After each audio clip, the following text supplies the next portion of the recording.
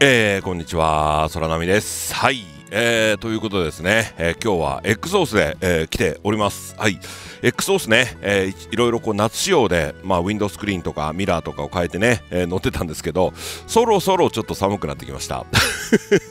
ということでね、えー、冬仕様にまたちょっと一回戻そうと思うんですけれども、まあ、その前にですね、えー、この X ソースに、えー、一つ装備をね、えー、追加させていただきました。はい。えー、先日ですね、えー、まあ、秋代さんの AIO の5ライトというね、まあ、いわゆるスマートモニターですね。まあ、これをご紹介させていただきました。えー、要するに、こう、オートバイのね、えー、このハンドルのところに、え、スマートフォンをね、え、つけて、まあ、ナビ代わりに、こう、使用しているね、え、方がたくさんいらっしゃる、まだね、え、と思いますけれども、え、まあ、なかなかね、ここにスマホをつけるっていうのはね、落下のリスクであったり、え、それとか、あとカメラがね、振動で壊れたりとかいうリスクがあるので、まあ、最近はね、えなかなかこう、ちょっとつけづらいなと思われてる方もね、いらっしゃると思います。まあ、そういった方にですね最適な商品として、えー、最近スマートモニターという商品が出てきております。はい、えー、どういう商品かはね、えー、先日秋代さんの商品をねご紹介させていただいた時に、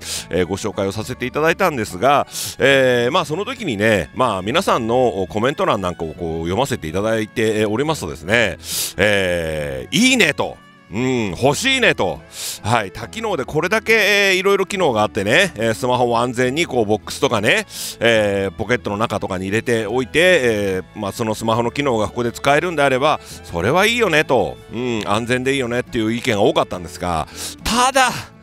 ただ高いねと いうね、ご意見をいただいておりました。まあ確かにね、えー、AIO の5ライトは、えー、こちらは8万いくらだったんですよね。で、まあ、先行予約で、えー、幕開けさんでね、え、まあ割引があってもやっぱり5万、え、数千円だったんじゃないかな。うん、まあなかなかやっぱりそこまでは出せないよというご意見が多かったです。はいまあ、それと、えー、自分のね今のこの現行のバイクに、まあ、ナビもなければ、えー、そうですねドラレコもついてないよという方であれば、えー、まあ一回にねこうナビとドラレコを導入するとまあそのぐらいの価格にはなっちゃうじゃないですか、うん、なんでまあそれだったらそれを1個にまとめられて、えー、いいよねと、えー、いう方もいらっしゃったんですがただ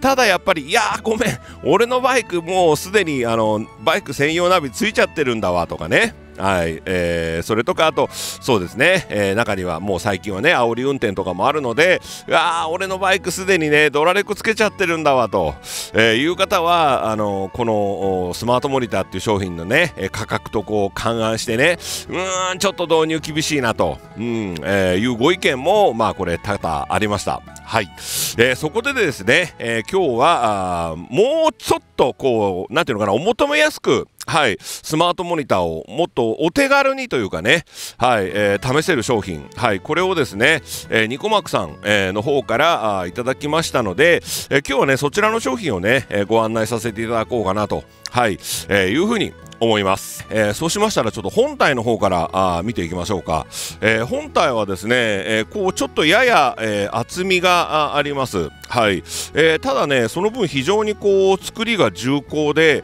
えこの辺り、ね、すごくしっかりしてて、え使いやすいですね。でまあ、え比較的こうちょっとね、えこうペラペラでこう動いちゃうとかっていうのもないので、え今がっちりね、えこうついておりますが、え安心感があるし、え大きさもねどうなんだだろうな。このスマートモニター、まあ、今出始めたばっかりの商品なので、え今後どの大きさが主流になるかっていうのは僕には何とも言えないですが、えこれが5インチかな。はい。えー、5インチが主流になるのか7インチが主流になるのかちょっと分かりませんが、えー、こうハンドルにね、えついてる感じからして、えー、どうでしょうね。これ以上大きいとメーターとか見えなくなったりとかってしないですかね。なんで僕はやっぱり5インチクラスがあいいんじゃないかなと、えいうふうに、うん、思います。はい。でね、あの先にねちょっとねこう悪いことを言ってしまうと申し訳ない気持ちにはなるんですけれども、えやはりこのニコマークさんの SM1 っていう商品品なんですけれども、えー、先ほども言いましたがこちらの本体はすごくがっちりしてて重厚感があって、えー、明るさも十分です。で使いやすいしタッチパネルの反応も、えー、素早いですしすごくいいと思います、うん、いいと思うんですが、えその反面ですねやっぱりちょっと悪いところもありました。はい、えー、そこはですね まずねあのこの SM1 という商品ここに、えー、ネジの穴がね、えー、2つついて、えー、いるんですけれども、え、ここにこうバイザーがあるんですよ、うんまああのこうまあ、周りがね明るい時とかに画面が見やすいようにするバイザーがあるんですが、え、このねネジがですねすごくちっちゃいネジで、え、まずこう細かいなんていうのかな本当 ネジってトルクをかけて締められないんですよね。トルクをかけて締めると、えー、結局舐めてしまうのでそれほど強く締め込めないんですが、えー、まあ、常識範囲内のトルクで締めていたんですが、え飛んできました すごい外れやすいですね。うん、まあ多分おそらくですけれどもそのネジのリーチと、えー、このバイザーの厚みその辺をきっちりと計算に入ってなかったのかなっていうふうに思いますので、えー、ここに関してはねあのネジロック推奨です。はいまあ、幸い空波の場合はねバイザーは飛んでいかなかったんですよ。片方のネジだけ飛んでってここはプランプランになったので、えー、慌ててそれを外したんですけれども、うん、なんで、まあ、もう一回ねネジをつけてネジロックをすればあ使えるんですが、えー、ちょっとそういったような難点があります。まあ、それと同時にですねこの、えー、本体背面に、えー SD カードをね、えー、入れる部分があるんです。はい、えー、ここなんですけどね。えー、空波今ここにゴリラテープを貼っておりますけれども、そこのネジもものすごく長さが、リーチが短くて、えー、強く締め込めないですね。はい、鉄板を締め込むんですけれども、うん、それもね、落ちます で。で、そこに関してはね、中に SD カードとかが入ってるので、えー、ネジロックをするっていうわけにもちょっといかないんですよね。うん、なんでまあ、そこに関してはね、えー、どうかな、うんまあ、ただ SD カードを取り出すって言ったら何か事故があった時ぐらいだっていうことであればネジロックしちゃえばいいですし、えー、ネジロックあまりしたくないなっていう方はですねこう空波みたいに、えー、もうネジをあらかじめ外しておいてね、えー、こういうゴリラテープのような粘着テープで防水になりますからね。ね中にゴムにゴムが入っててそのゴムで防水をしてますのでその中のゴムとこの防水テープの両方の効果でね水は入ってこないようには空波はしてあるんですが、えーそういった弱点があるのと、えー、それからこの、まあ、取り付けのね、えー、この、まあ、一緒についてるこの樹脂の、えー、部分アームの部分なんですがここのこのネジの部分も、えー、若干緩みやすい。はい、えー、しばらく使ってると、えー、結構ねあのたまにこう1ヶ月に1回ぐらいはこう持ってね、えー、こう触っていただいた方がいいと思います。うん。まあただあまり角度を変えないっていう方はもうここにもねネジロック剤を入れてしまうっていう手もありますので、えー、まあ、うん、そういった工夫がいります。はい。あの AIO5 のライトに比べると。まあそりゃそうだよね。価格で言ったら半額ぐらいになるわけだから、えー、その辺とあとそうですねバッテリーと接続する部分の、えー、こうケーブルがですね、えーかなりこうちょっと細いんですよね。うんなんでその辺のこうちょっと不安な部分っていうのはあるにはあるんですが、まあただ価格がね、えー、これ3万円台なんですよね、えー、3万円台中盤ぐらいだったと思うんですが、で今ちょっとねあのアマゾン品切れ起こしてるんで価格が現在の価格っていうのは確認できないんですが、でクーポンとかあったらですねさらに安くなりますので、そう考えるとまあ下手をすると3万円そこそこ、うん、で買えちゃうと、えー、いうことを考ええれば、まあ、非常に、まあ、導入しやすいスマートモニターなのかなと、はいえー、いうふうに思いますね。はい、そして、えー、そうですね、えー、カメラ、はい、カメラは空波の場合はフロントはこちらに、えー、こういう形で付けてあります。はい、えー、そして、えー、リアですね、ドラレコのリアカメラ、はい、これは、えー、こちらの下に、えー、見えますでしょうか、はい、えー、ついております。で、このカメラね、ソニー製のカメラなのかな、はい、CCD なのかな。を使ってるということで、やっぱりね、夜間すごく明るいですね。うん、で、えー、昼間ももちろん綺麗なんですけれども、えー、夜間も明るいので、えー、これはなかなかね、あの画質としてはね、え量ですね。はい、ちょっとじゃあ電源入れてみましょうか。はい、えー、画面はね、えー、こんな感じですけれどもね、えー、今日はですね、えー、こう非常に、えー、晴天で、えー、晴れてる状態なんですが、えー、こんな中でもですね、えー、非常に明るく見えます。はい、えー、そうですね、軌道的には、あまあ、現行のね、えー、iPhone の、まあ、例えば14とか15とか、まあ、そういったような液晶ですとかね、最近のエクスペリアですとか、あまあそうですね、そういったようなこう最新のスマホの液晶と比べると確かに輝度っていうのは若干劣るんですけれども、まあ、AIO の5ライトと比べても、本当若干気持ちちょっと暗いかなっていうぐらいなんですよ。なんでね、日中こう明るいとこで使うにはもう十分な輝度です。はい、えー、ですので、えーまあ、タッチパネルの、ね、反応なんかも非常に早いですね。はい、ですので、まあ、これだけ早ければ比較的こうスマホの代わりみたいな形でねここにつけてる状態で、えー、操作していただいても、まあ、そんなにストレスを感じることもないですし、え、グローブをした状態での操作なんかも比較的しやすいです。まあ、まあ、まボタンが大きいのでね、はい。まあ、ドライブレコーダーもこう見ていただくとですね今これ、えー、画面を映してるんでねちょっと見にくいかもしれないですけど、えー、それこそ本当にね元ブログができちゃうんじゃないかなっていうぐらいの、えー、画質なんですね。はい。これだったらもう十分綺麗かなと思います。はい。バックもちょっと映してみましょう。はい、えー、後ろですね。はい、えー、後ろの映像もこうやって、えー、綺麗にはい、えー、撮れてます。うん、でちょっとね一つだけ気になったのは、えー、そうですね、うんあのー、今ねこの、まあ、ニコマークの SM1 ですが通常ですと、えドラレコとかですとねえこうアプリがあってアプリでこう動画をね取り込むような形になってると思うんですよ、まあ、通常こうパソコンとかでは読み込めないタイプになってると思うんですが、え、このニコマークさんの SM1 は今そういうアプリがないそうです、はい、ですので直接 SD カードを抜いて、え、パソコンなどで、え、こう見てみないと、え、確認ができないと、うん、いうタイプのところはちょっとと一つ弱点かなというふうに思います、うんまあ、パソコンでそのまま編集したりね、え見れるまあ、えそれが証拠にならないって言ったらそうでもないんですけれども、まあ、そこはちょっと弱い部分かなと、まあ、証拠能力としてはね、えいうふうに思います。はい。でまああのー、そうですね、えー、じゃあ今前回ね AIO の5でやったようにちょっと、えー、地図でね行き場所をちょっと要求してみましょうか。鳥羽水族館に行きたい。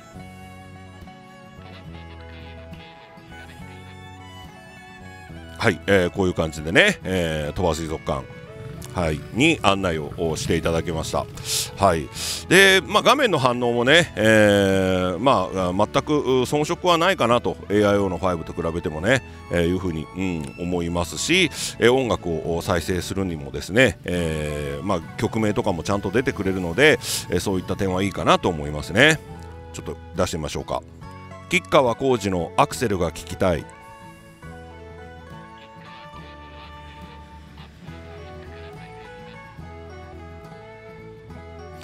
はい。これで今ね音楽が鳴り始めました。はい、えー、こういう感じでねアクセル。はい。ちょっと皆さんにはね、著作権上お聞かせすることができませんけれどもね。まあ、ということでね、えー、そうですね、えー、AIO の5と比べると、えー、まあ、障害物検知ですかね、まあ、それが抜けてます。で、オプションとして、えタイヤの空気圧のね、オプションとかはあります。まあ、ただ手元で、えこう操作するリモコン類のオプションはないというような状況なんですよね。はい。でもどうですかね、正直ね、あの、空波正直直な話言いますけど、これでいいかなっていう気がするんですよね。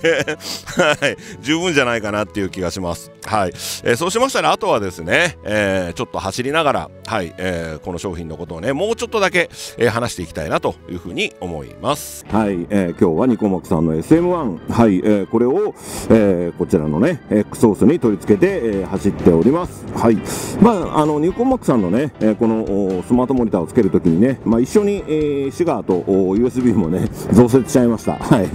どうせ線を通さなきゃいけないですからね、バッテリーまで。はい。えー、そしてね、えー、まあ今しばらくですね、え、この SM1 あ使ってるんですけれども、えー、そうですね、まあ一般的に、こうどうだろうな、僕の場合はね、えー、ちょっと申し訳ないんですけどね、皆さんに、えー、こんなこと言ってしまうと申し訳ないんですが、えー、こういったような、まあある意味ね、えー、数万円するものっていうのを、えー、その業者さんからね、えー、まあいただけてしまうわけなんですよね。うん、ですので、えー、まあそれは確かにね、機能的には AIO の5ライトの方がいいよねと、え、いうようなあ、まあ、ことを多分、うん、言ったかもしれませんね。まあ、でも、えー、正直、えー、正直ですよ。まあ、空波が、えー、こういったような元ブロガーみたいなものをやってなくてね、えー、こう企業さんから、まあ、企業案件としてこういうスマートモニターのような商品をね、あのいただける立場になければ、えー、どちらを買うのかと、はいえー、言われればですね、はいえー、おそらくこちらを買います。はい、あの2代目、えー、特にこうセカンドバイクなんかでね、ファーストバイクにはこういろいろついてるよっていう方で、セカンドバイクに、えー、つけようかなと、うん、いう場合はもう間違いなくこちらで、えー、いいと思いますし、えー、空波の場合ね、あのファーストバイクにつけるそのスマートモニターとしても、おそらくこっちだな。うん、まあ確かにね、えー、この、なんていうの、マウントの部分とか、えー、その先ほど言ったね、えー、ネジの部分とかっていうのは確かにあります。うん、確かにありますね。え、でも、まあその辺と、そうですね、障害物検知ぐらいなんですよ。えー、やっぱりこう、スマートモニターですからね、やっぱり暗く、暗かったらもう意味がないと思うんです、全く。うん、まあ、日中ね、夏場、えー、こう走ってて見えないとかね、まあそれだったら意味ねえよなっていうふうに思うんですけれども、まあこれだけ明るければ、あまあ夏、比較的に夏に近いようなこう、えー、日差しでもね、これ見えると思いますね、十分。うん、で、これだけ明るくて、えー、そうですね、タッチパネルの反応も良くて、えー、で、値段もね、えそれこそ、まあ3万円台、うんえー、もっと割引施策みたいなのがあればね、もっと安く買えちゃうかもしれないっていうのであれば、えスマートモニターと、それからドラレコの機能が一緒になってるわけじゃないですか。まあ、それは、そう考えるともう安いよね。で、下手な、その、なんていうのかな、ドラレコを、えー、まあ、買うんであれば、ほぼ同じぐらいの価格で、このスマートモニターがね、えー、揃ってしまうということからすれば、まあ、この商品のね、導入メリットっていうのは、あ十分あるんじゃないかなと、うん、いうふうに思います。ニコマクさんの今回いただきました SM1、え、これに関してはですね、コスパ的にも、非常にいい商品かなっていうふうに正直思ってます。あじゃあ今日はこれからどこ行こうかな。うーん、えー、っと、またさっきのやってみましょうか。はい。えー、鳥羽水族館に行きたい。鳥羽水族館への経路をお調べしています。まあ、っていうか、水族館への水族館は俺、ナビなしでも行けるけどな。じゃあ、さっきの続き行こうか。吉川浩司のアクセルが聞きたい吉川浩司のアクセルをお届けします